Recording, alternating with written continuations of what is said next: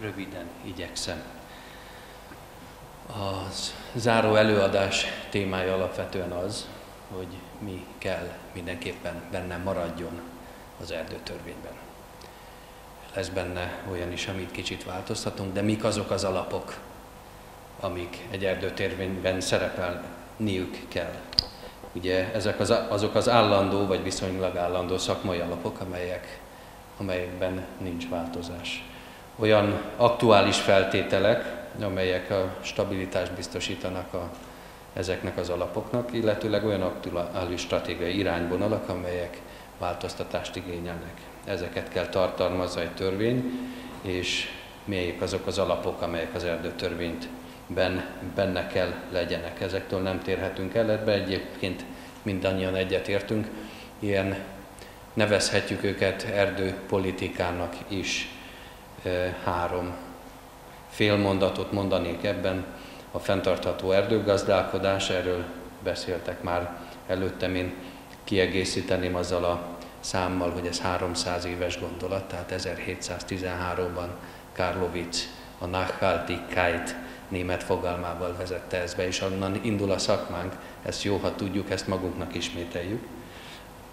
A biodiverzitás fenntartása és növelése, ettől nem térhetünk el, mert az erdő az ugyan e, szakmánk tárgya, de mégiscsak egy élőhely, és ebből kell kiindulnunk, de ez a kettő úgy gondolom, mert hogy élőhely és egyébként faanyagot is szeretnénk belőle venni, ez kiegészíti és inkább generálja egymást. Illetőleg manapság a harmadik, lehet, hogy elsőként kellett volna említsem, a klímaváltozás hatásainak a csökkentése, vagy a klímaváltozás hatásaihoz való alkalmazkodás. Ezek azok az erdészetpolitikai kérdések, amelyek mentén kell a jogszabályt megalkossuk.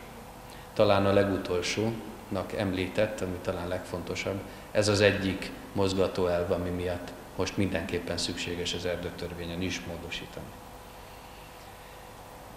Stratégiai célok gyors felsorolásban, amelyek ebbe az előbb három félmondatban felvázolt kérdéskör alá gyűjthetők. Fentartható erdőgazdálkodás alap ilyen, ilyen kifejezés, hogy például, hogy nem csökkenhet az erdőterület. Tehát minden erdőt, amelyet használunk, véghasználunk, fel kell újítani. Ez egy alapvetés. Nem, nem csökkenhet az erdőkből nyerhető faanyag, ugye ez a tartamosság elve. Nem gazdálkodhatunk úgy, hogy aztán a következő generáció egy kevesebb faanyaggal bíró erdőt, a mi gazdálkodásunk rossz gazdálkodásunk következtében nyerjen. Nem csökkenhet a erdő vidéki megtartó képessége. Ez is a fenntarthatóság alapja. Erről agrárkamarai elnök úr beszélt. És fontos az erdőtervezés. Én ehhez hozzátenném, hogy fontos egy állami körzeti erdőtervezés. Lehet arról vitatkozni, hogy hogy fogjuk ezt kibővíteni, mely feladatokat adunk a gazdálkodónak, hogy pontosabb, és a pillanatnyi kapacitás problémákat a gazdálkodók segítségével le tudja győzni az erdőtervezés, de fontos. Ez az egyik alapja a fenntartható erdőgazdálkodásnak. Biodiverzitás fenntartása és növelése te- tekintetében nem csökkenhet az erdő természetessége. Ez talán az egyik legfontosabb, amit a mostani erdőtörvény ki is mond, és ezen nem kívánunk változtatni, ezen nem szabad változtatnunk termőhelynek megfelelő őshonos fafajokból álló elegyes, vegyeskorú és szerkezetű erdők kialakítása és fenntartása. Ez is olyan alaptézis, amelyet mindannyian tudunk, és nagyon régóta az erdőtörvény egyik meghatározó fogalma. Természetközeli erdőgazdálkodási módszereket kialakítani és alkalmazni, minél jobban elterjeszteni, ahol lehet. Folyamatos erdőborítás módszereinek kialakítása és alkalmazása. Erről is volt már szó mindezek a biodiverzitást fogják fenntartani és növelni, ezek azt gondolom a legjobb eszközök. A klímaváltozás hatásainak a csökkentése tekintetében növelni kell a faállományra borított területeket, akár erdősítéssel, akár fásítással. Ezt mi jól tudjuk, ez az egyik legjobb válasz a klímaváltozásra, hogyha fát ültetünk, és erdőt, fásítást tartunk fenn és kezelünk. Az erdő funkciói közül a nem anyagi jellegű szolgáltatásokat nyújtó, azaz az állam által biztosítandó közcélok fenntartása és fejlesztése. Igen, ez is egy nagyon fontos cél. Ahogy elnök úr is mondta, igen, ehhez támogatást kellene adni. Termőhelyek adottságainak a felülvizsgálata, erről is volt szó. Itt egy döntéstámogatási rendszer készül a, a tudományos világ bevonásával, az RT Egyetem Agrárklíma projektben várjuk mi ezt, hogy hogy tudjuk erre a szabályozásra fektetni, vagy hozzáigazítani. És hát felmerül kérdés a klímaváltozás hatásai csökkentése, vagy alkalmaz, főleg az alkalmazkodás kérdésében, hogy bizony a fák, a faállományok legnagyobb szénmegkötő képessége érdekében milyen is legyen az a vágáskor. Amikor a legnagyobb fatömeget adja, azt vegyük vágáskornak, vagy a biológiai vágáskort, amikor már esetleg passzív a szénmérlege annak az erdőnek.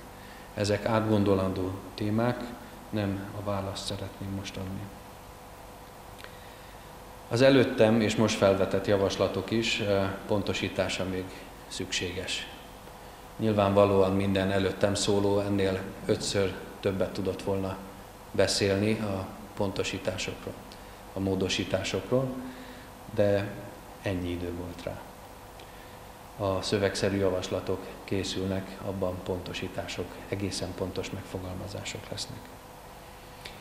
Figyelembe kell vegyük nyilvánvalóan, mert ez a feladatunk, a nemrég lefolyt és még most is folyó felügyeleti vizsgálatokat is.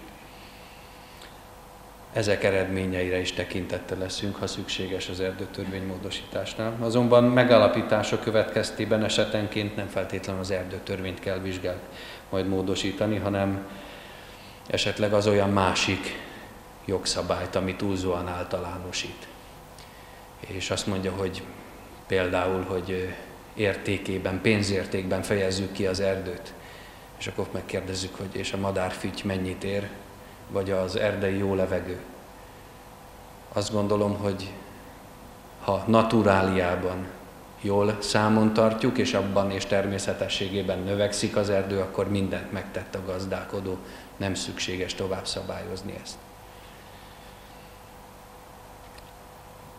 Van ennek más jogi következménye is, vagy jogi oldala, ugye ez is felmerült, hogy az erdőgazdaságok, főleg az állami erdőgazdaságok, melyek megkötötték most már az állandó vagyonkezelői szerződéseket a hétfőn, és ennek mindannyian nagyon örülünk, mennyit is fizessenek ezért a díjért. Én meg már ezért a vagyonkezelési lehetőségért, én megfordítom a kérdést, mit várunk el, mit tegyenek.